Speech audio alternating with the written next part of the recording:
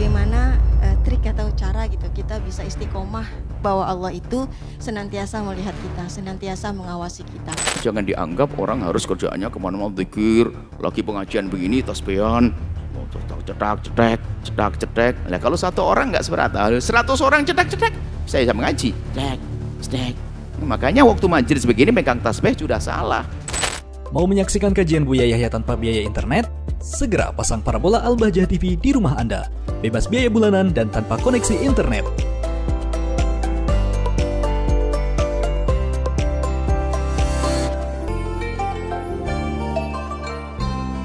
Bismillahirrahmanirrahim. Terima kasih atas kesempatannya Bu Yahya. Assalamualaikum warahmatullahi wabarakatuh. Ya, uh, yang mau yang ingin saya tanyakan adalah yang pertama tadi dijelaskan oleh Buya Yahya tentang sifat Allah ya. Uh, tentang yang al-basor gitu ya. Kita tahu Allah itu maha melihat. Nah cuma PR-nya adalah tadi bagaimana uh, trik atau cara gitu kita bisa istiqomah uh, apa mengistiqomahkan diri kita bahwa Allah itu senantiasa melihat kita, senantiasa mengawasi kita. Nah ini sering kali tumbuh rasa itu ketika kita sedang di kajian seperti ini ya Bu ya, ya. Atau dengan orang berkumpul dengan orang-orang soleh. Tapi ketika di rumah gitu ya, itu lupa. Apalagi ketika di rumah baik itu sebagai, kalau di rumah sebagai ibu rumah tangga ya, kerjaan tuh numpuk gitu. Jadi sholat gitu terus, wah habis ini mau ngerjain ini, ngerjain ini, ngerjain ini gitu ya. Atau kalau lagi di tempat kerjaan juga gitu, wah masih ada kerjaan numpuk di meja gitu. Jadi sholat zuhur juga buru-buru segala macam. Belum makan, belum ini gitu ya. Nah itu padahal harusnya tidak seperti itu. Ini caranya bagaimana? Mungkin itu saja Bu ya. Saya dari eh, saya Nur Hasana dari Rumah Quran Pancoran Jakarta. Makasih. Assalamualaikum warahmatullahi wabarakatuh. Assalamualaikum warahmatullahi wabarakatuh. Jadi kekuatan di dalam hati itu yang menjadikan perilaku dohir kita. Sebelum kita bicara tentang urusan kita dengan Allah, ibu yang sangat mencintai putra ibu lagi mondok. Ya kan? Kalau ditanya, ibu berapa kali ingat anak waktu di pondok? Nggak bisa menjawab. Ya kan? Terus kok bisa? Ibu nggak ingat sama anak? Oh nggak, bukan gitu. Terus waktu saya mau makan, ingat di. Waktu mau tidur, ingat dia selimutnya ada enggak. Waktu makan, ingat dia makan apa dia. Waktu ibu minum seger, ingat dia. Kan begitu ya? Bukan berarti Maksudnya, oh ingat terus gitu. Ya bukan. Sehingga waktu dapat duit, rizki, ah, ingat dia memberi hadiah. Apa pun, ingat orang alim, ya Allah, ingat dia, semoga anu dia. Terus begitu. Nah, itu bukan pertanyaannya adalah, berapa kali Anda ingat? Oh, enggak. Nah, itu. Dengan Allah Jalla Jalaluh, rumusnya sama. Hanya objek, hanya kita arahkan kepada Allah Jalla Jalaluh. Jadi maksudnya Ingat Allah itu bukan berarti apa sih yang Anda pahami tentang ingat Allah. Jadi begini, ingat Allah itu waktu Anda ingin jual beli langsung ingat Allah. Senang enggak kalau Anda jual seperti ini? Aku mau berjalan ini. Wah ini masa aku buka aurat? Ya nggak mungkin dong. Jadi ujiannya di saat sembunyi. Di saat sembunyi melakukan keharaman. Nah ini. Jadi yang dimaksud ingat Allah. Makanya dibiasakan dengan apa? Para ulama ahli tasawuf, ahli tarbiyah membiasakan dengan banyak berzikir menyebut nama Allah dengan lesannya dulu baru dibawa akalnya baru hatinya. Sehingga terus membiasakan zikir biarpun lesannya nanti pada akhirnya sudah tertutup tidak berzikir tapi hatinya ingat Allah. Nah mengingat Allah itulah buah daripada zikir. Zikir dengan hatinya ingat Allah dikit-dikit Allah. Sehingga seorang ibu yang cerdas pun lihat urusan sepele langsung ingat Allah Allah. Gimana? Urusan jual beli urusan dagang. Makanya kadang pertanyaan ibu-ibu Buya ini boleh enggak ya menurut agama? Itu kan ingat Allah sebetulnya. Jadi nah pertanyaan ibu adalah tepat sekali. Gimana kita untuk bisa mengistiqomahkan kita agar kita selalu uh, mengingat Allah. Makanya itu diasah. Dimulai dari banyak berzikir, banyak merenung dan sebagainya. Terus nggak mungkin tidak. Sehingga ilmu tasawuf ilmu untuk itu. Ilmu, ilmu tasawuf adalah ilmu. Tidak cukup orang setelah iman Islam yang ada pada kita kita beriman kepada Allah, lalu kita melakukan sholat, maka kita harus naik pangkat lagi.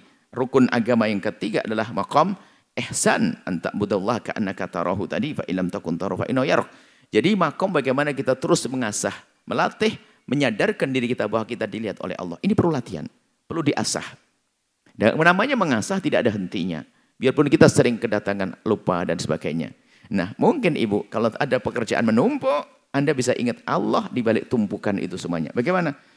Allah, pekerjaan numpuk memars. Ah, Eh pahala dong ini, ini buat suami, celana suami, baju anak-anak. Allah, ingat Allah lagi jadi senyum. Ya, gitu, jadi cara membawanya ke sana bukan Tuhan ya Allah belum sholat duha.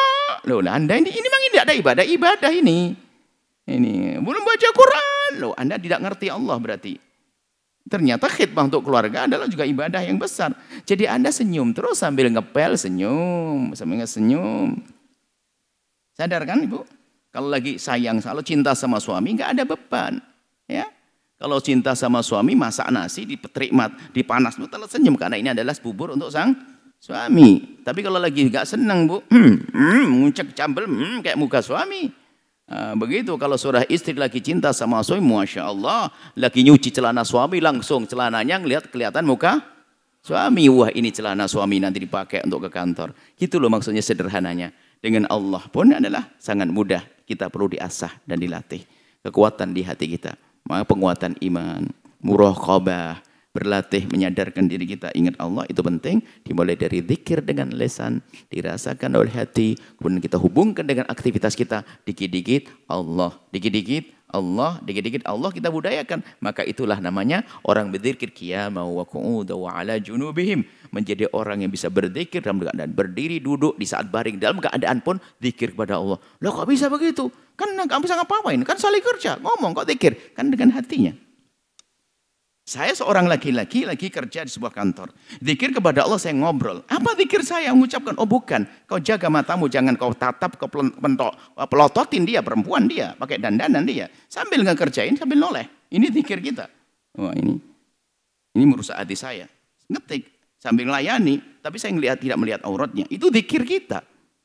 Jangan zikir batasi dengan la ilallah saja, bukan. Saya ngelihat dia, wah ini dosa, saya nggak boleh lihat dong. Kan saya bisa ngelihat ke tempat ketik saya, ke laptop saya, bisa masa ibu ya baik, masya Allah, ya bu, insya Allah, nah, nah, nah, selesai. Nah, sebaliknya katanya dikir tapi nggak sadar, la ilaha illallah, la ilaha, oh, la ilaha, apa itu? Oh, panjang rambutnya, pendek ini, roknya, bajunya, la ilaha illallah, la. Ah, jangan merendahkan dikir dong.